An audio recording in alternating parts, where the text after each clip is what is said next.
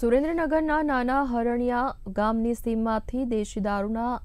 આથાનો જંગી જથ્થો ઝડપાયો હતો અને સુરેન્દ્રનગર લોકલ ક્રાઇમ બ્રાન્ચે છસો એંસી લીટર દેશી દારૂનો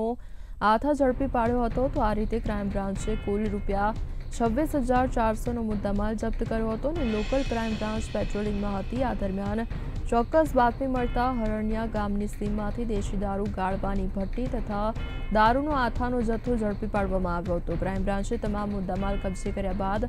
આરોપીઓ વિરુદ્ધ ધજાળા પોલીસ સ્ટેશનમાં પ્રોહિબિશન ધારા હેઠળ ગુનો દાખલ કરી આગળની કાર્યવાહી હાથ ધરી છે